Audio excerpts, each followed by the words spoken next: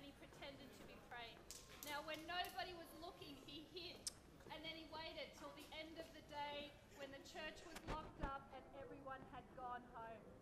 Was he just doing what Yeah, yeah, you just saw that. Okay. Uh, just, uh, yeah, completely distracted right now. We should just go. But uh, let me let me get that out of my mind. you know, somebody just mooned us. and it wasn't, wasn't pleasant at all. Um, anyway, um, the thief, let's go back to the thief. He sat down in the pews and he pretended to be praying. And uh, when nobody was looking, he hid and till the end of the day when the church was locked up and everyone had gone home.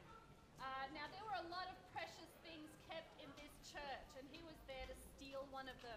And he was there to steal a precious stone necklace that hung around the statue of Madonna.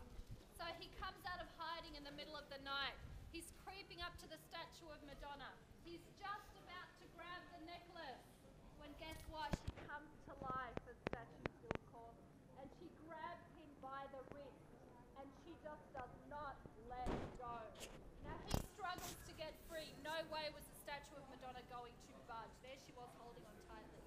Now in the morning, when the church elders opened up this church, you know, there he was, still hanging, obviously tied by now.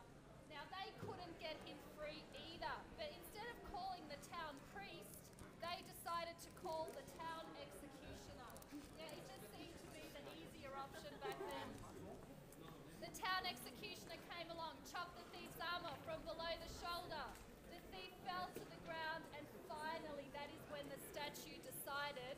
to let go of his now severed arm.